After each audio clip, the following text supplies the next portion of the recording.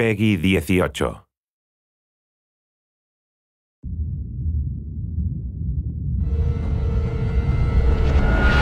Hey everybody, Zachary Levi here in the heart of London's famous West End. Behind me is BAFTA, the British Academy for Film and Television Arts.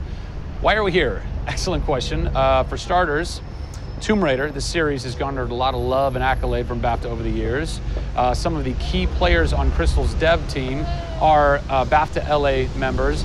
And to top it all off, legendary video game composer Jason Graves is a BAFTA winner.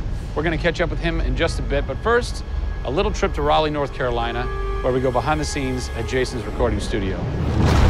These are the final hours of Tomb Raider.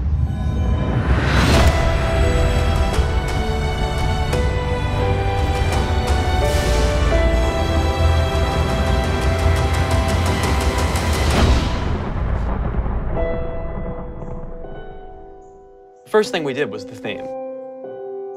There have been many composers in the games or the films, but they've always used the original theme.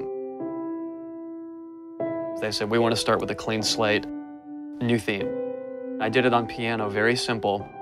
I was really scared just to send it because I'm like, I don't know, I think this really works, I think I like it. We ended up taking that exact theme. The first demo I sent was on the first trailer. That exact same arrangement.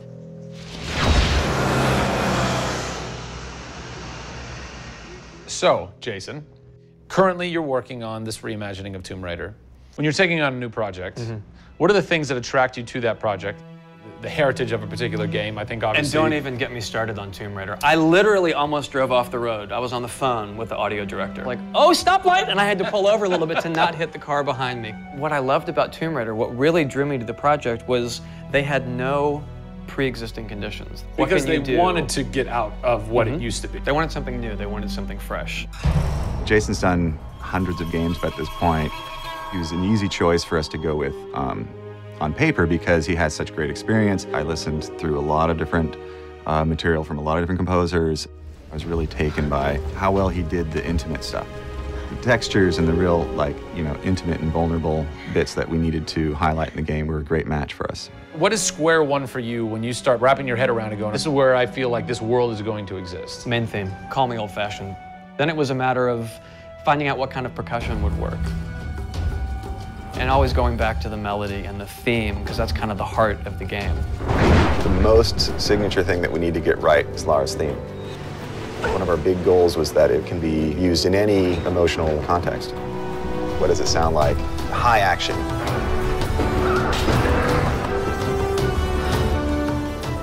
What does it sound like when she's in pain? For music, the gameplay and the concept art, especially with the, the scavengers and kind of the shanty town, corrugated metal, how everything's kind of this amalgam of different stuff that they found on the island. Like, that's what I want the music to sound like.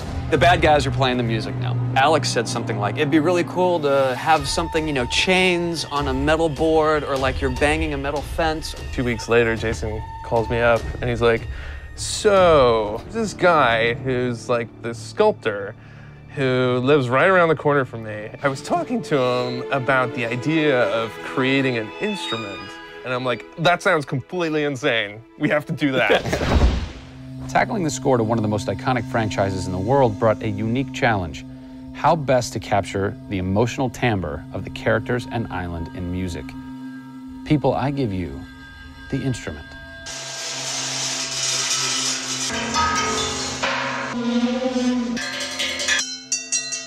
The instrument. I was going to let Matt determine the aesthetics. I was really only concerned about the sound that the sculpture was going to make. Matt built this, which looks pretty much exactly like Lara's original homemade bow in the game. There's different timbres based on different materials metal, glass. It's a direct line from the plot, the characters, the story, the environment, straight to the sculpture. We always wanted the island to have that character in itself. Creating an instrument gave it this unique identity. It's got a voice. Yeah. Yeah. The very beginning of the game is, is nothing but the instrument.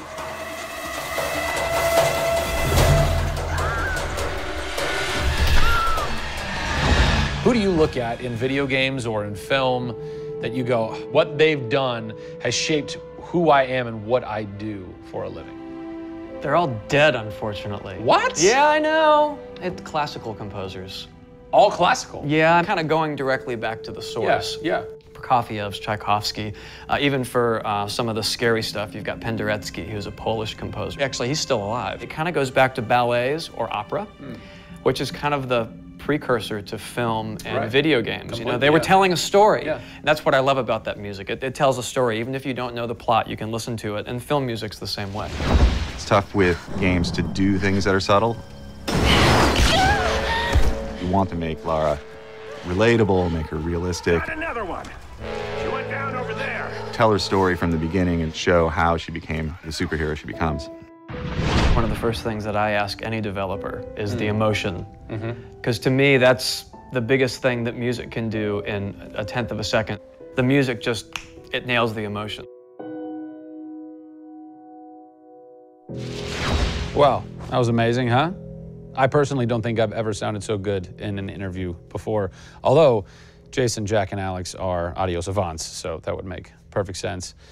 I cannot wait to jump into this game, not just for the amazing action, but the emotion and mood and tone that they're going to set with their incredible skill.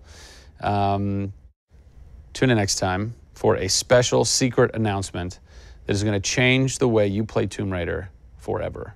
See you soon.